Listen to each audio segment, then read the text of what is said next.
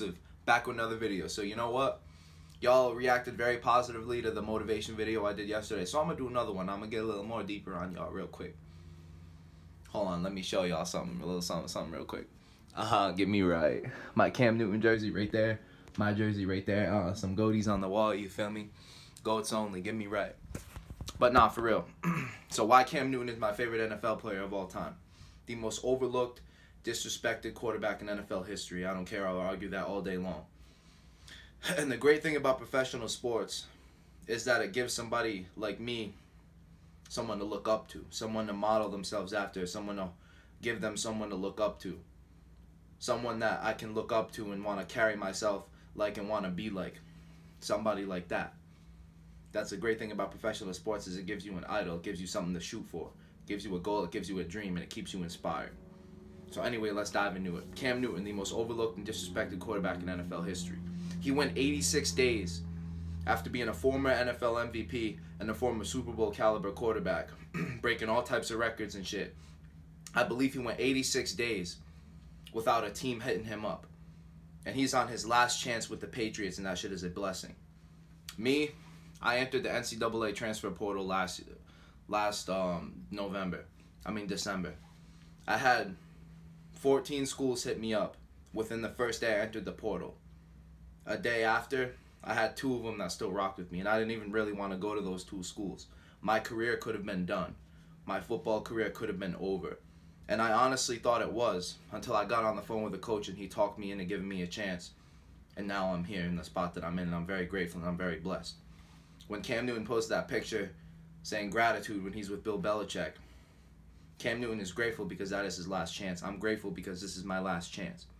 And I have to make the most of it. He has to make the most of it. So I always rocked with him since 2011, since before that when he was at Auburn. And when 2011 when he went to the Panthers. But anyway, I just relate to him on so many levels because the amount of disrespect that he receives. No one puts respect on his name. And I'm in no way comparing myself to Cam Newton, but I'm just saying that's my idol. That gives me something to shoot for. Keeps me inspired, gives me a dream. You feel me? Is that he is on his last chance. And I'm on my last chance, so I relate. I'm grateful. He is grateful because to be in the spot that I'm in and to be able to have just one more chance to live out your career and one more chance to live out your dream. I relate to that shit on so many levels. I remember my sophomore year of high school, I used to cry and fucking flip out and throw my helmet. I was all types of fucked up back then. But I was passionate about the sport. When we're losing, I'm pissed off and I'm mad and I'm angry. People used to get on my ass. When Cam Newton and or Odell Beckham Jr., two perfect examples, when they're passionate about the game, so they flip out and they cuss and they do this, that, and the other on the sideline. I know it's all fucking, it's bullshit what they do about how they flip out, but still it's passionate and I feel where they're coming from. But when Tom Brady does it, it's considered passion. But when Cam Newton and Odell and me do it, it's considered feminine or whatever. But anyway, back to the topic. Is that he's on his last chance and I'm on my last chance, you feel me? Being overlooked. I feel as though I was overlooked coming out of high school. I feel as I was still overlooked in the NCAA transfer portal. Disrespected. It's disrespect that Cam Newton is on a less than a million dollar contract for the Patriots. I think that is just straight up disrespect. Me, I'm at a small school. I had a bunch of things happen to me. I had a bunch of people talk shit about me. And do I feel disrespected? Yes. Will I prove them wrong? Yes. Will Cam Newton prove the doubters wrong and make the Super Bowl? Yes, I hope so. And another thing about him, too, is that his energy, the way he carries himself. I've seen him once in person when I went to the Panthers Giants game and fucking well I've seen him play in person like mad times, but actually being up close like with him, I was at the Panthers Giants game, right? When Josh Norman fought Odell. That game was lit. That game that shit was crazy. So anyway, I'm like going over like the Panthers like um like where like they walk out the tunnel, right? And I just seen him like walk out like up close, bro. And I think that was in 2015, the year they made the Super Bowl. Yeah, it was and like he just walks out and he's just so physically alpha. Like he's just so physically imposing. Like he walks out and you're like damn like i would not want to have to tackle that dude. I think i could tackle him that's just me. I have to ankle bite this shit you know what i'm saying? But anyway he walks out and he's just so physically imposing. He's just so physically alpha. Like you walk out and you're like damn. Like that's the type of time I'm trying to be on where you walk into a room and you turn heads. So I like you look at him and you're like, damn. Like I want to walk in a room and turn heads. I'll never be six foot seven or whatever the fuck he is, but like, just walk into a room and turn heads. You know I'm trying to say? Like that's the type of energy I'm trying to be on. So the best thing about, and I'm usually not one for having idols. I'm not one for fucking, because I believe you should be your own idol. I believe you should want to inspire yourself and you should be self-inspired and you should, everything you went through and all the hardships you went through in your life should inspire you every single day. Because me, I'm my own idol. Other than Cam, I really don't idolize, idolize anybody. Like if I were to pick one person to want to be like other than myself, it would be him. But I don't really believe in having idols in the first place because I believe that you should be self-inspired because you can you can be the best at being you. Like I will never be anyone. I will never be Cam Newton. I will never be Vegeta. I will never be fucking Batman. Obviously, you know I'm trying to say. These are all things I like look up to, and like I want to have the best pieces of them in me, but I will never be like them. So you have to be the best at being yourself, if that makes sense. Like I'm usually not one for having that, is because like I said, like only you can do you. God made you. The Most High made you and put you in the spot to be the best version of you. You feel me? But like anyway, I believe that having idols is like it can go either way. But I believe that you should idolize yourself and want to have the best pieces of them because I will never ever be anything compared to Cam Newton. Obviously not. What I'm trying to say is that I have the best things of him and try to model myself after that. You feel me? but anyway, overlooked and disrespected. Let me get back on topic. I went on a little tangent. Is that even in high school, I feel as though I was overlooked. Like I only had a couple offers coming out of high school. I was like, damn. I'm trying to say like shit starts to get real when you come out of high school. You're that man in high school. You're that nigga in high school. You get to college and you're like, damn. Last year I was redshirted. I felt as though I was overlooked. I felt as though I was disrespected as fuck. The coaches didn't fuck with me. My teammates didn't fuck with me. I didn't fuck with myself. All the energy I put out, all the toxic energy I put out, I was receiving, and that shit was fucking me up overlooked. I entered the transfer portal at 177 pounds, not knowing where the fuck I was going to play football and if I was going to play football again. I ran with the best offer I had, and now I'm 195 and I'm getting ready to fucking go take somebody's spot. Because I got that dog in me. Cam Newton entered the NCAA transfer. I mean, Cam Newton entered free agency, my bad. Cam Newton entered free agency with no no types of looks, no types of love. People saying his career is over. He's too hurt. He's too this. He's a loose cannon. He's whatever the fuck they were saying about him. He's too hurt. He's too injured. His career's up. Bill Belichick gave him one last chance, and now he's making the most of it and he's running. He's running with it and he's tearing shit up, and he will make the league feel his pain. Me, I entered the NCAA transfer portal 177 pounds. Now I'm 195 and get ready to take somebody's spot, and I will make the whole conference feel my pain. So y'all need to be inspired. Y'all need to get inspired. Y'all need to find someone to motivate you. Find something to motivate you. Whatever the circumstances is, find that shit and let it motivate you.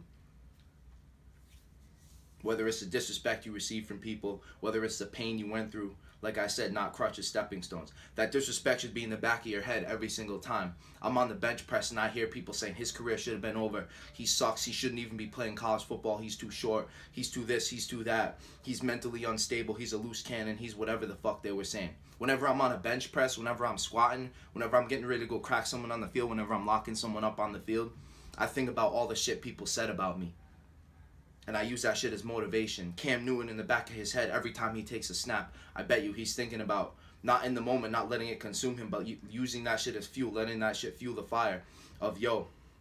People were saying all this about me. They said my career is done. I'm gonna make them feel my pain. People said that my career is done That I shouldn't even be in the spot that I'm in. I let that fuel me and I will make them feel my pain. Y'all need to get inspired, get motivated. Find someone that you want to be like take their best parts of them and put that shit into you. Get yourself motivated. Watch that Cam Newton documentary. I seen the preview on Instagram and I got inspired to make this video. Is that people said his career is done, that his shit's over with. I thought my career was done. I thought my shit was over with. I honestly thought I would never play college football again because the mental state I was in and the position that I was in. I'm very lucky to have one last chance and run with it. Cam Newton is very lucky to be in the spot that he's in because what if all, all the other teams, what if all the the 31 other teams, what if the Patriots were that 32nd and said, "Yo, his career's done. He's a he's too much of a risk. He's a loose cannon. He's too hurt. He's too injury prone. We're not going to take a chance on him." What if those other two schools that actually stuck with me, what if they didn't stick with me? What if they said, yo, he's too much of a loose cannon, he's too much of a risk, he's too much of a liability? Character issues. We don't want to take him. He's too short. We don't want to take him. What if that happened to me? I think about that shit every day. I don't let it consume me, I let it fuel me. What if the Patriots were the 32nd team to not take a chance on Cam Newton? What if those two schools weren't weren't to take a chance on me? Where would we be? Two, to- two totally different spots.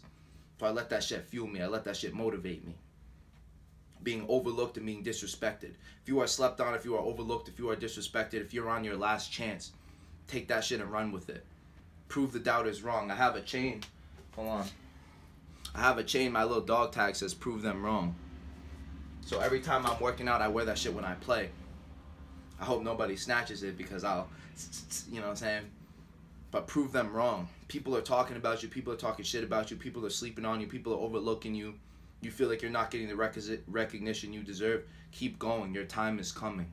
I promise you, your time is coming. I've been overlooked and disrespected for six years now. I'm a sophomore in college. I've been disrespected since my freshman year of high school. I've been overlooked since my freshman year of high school. People said I was a loose cannon, character issues, um, crybaby. That's another thing they say about Cam. He's a crybaby. No, he just wants to win. He wants the best. He has the highest standards.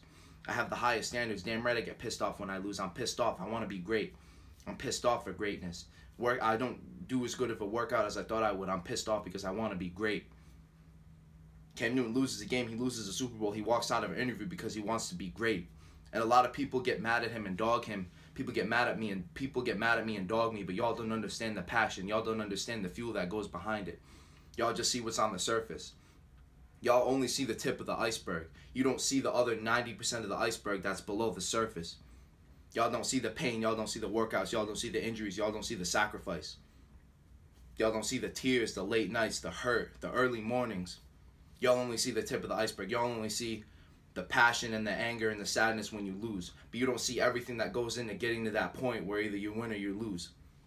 And that's why a lot of y'all won't understand. A lot of y'all bag on Cam Newton. That's why he's the most overlooked and disrespected quarterback in NFL history. So if you are overlooked, if you are disrespected, let the hate fuel you. Fuel you. Let all the negativity that people say about you fuel you.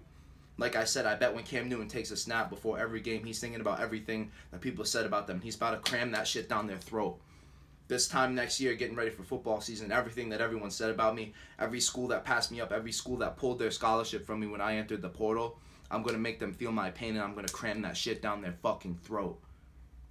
So go out, go be great today. If you're overlooked, you're disrespected, you're slept on, your time is coming, I promise you. Be sure to like, comment, subscribe, and share this shit, bro. Peace out.